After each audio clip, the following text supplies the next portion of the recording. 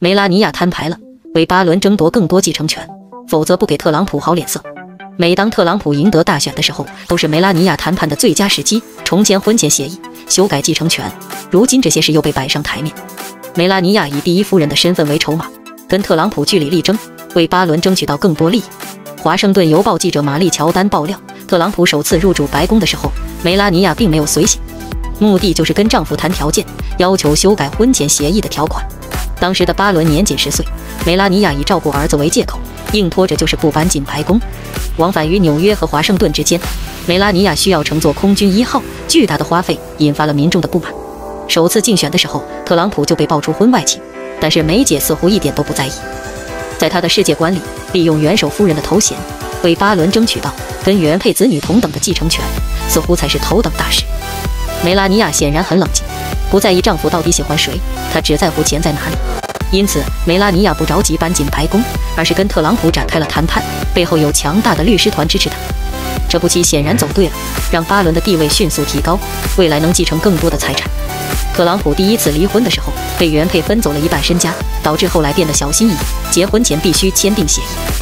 特朗普对待梅拉尼亚并不大方，充其量只是衣食住行规格比较高，此外就是买一些奢侈品。但是对于公司股份和财产继承权，巴伦并不占优势，还是要排在原配三个子女后面。梅拉尼亚利用第一夫人的身份跟特朗普讨价还价，趁机获得额外的利益。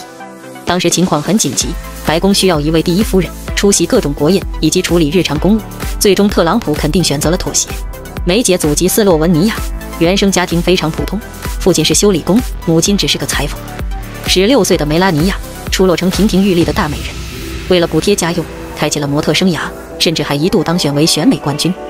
为了让自己看起来更加完美，梅拉尼亚做了整形手术。梅姐的摄影师也爆料，她穿泳装拍照的时候。只要近距离拍摄，就能看到非常明显的疤痕。梅姐就读于卢布尔雅纳大学，自称获得了学士学位，但实际上并没有毕业，也没有领到学位证。但是梅姐拥有强大的语言天赋，会四五门外语，其中包含英语、意大利语、法语和德语等等。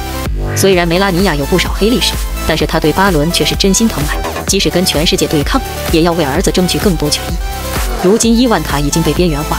未来无论家族企业还是政坛，特朗普的接班人都应该是巴伦。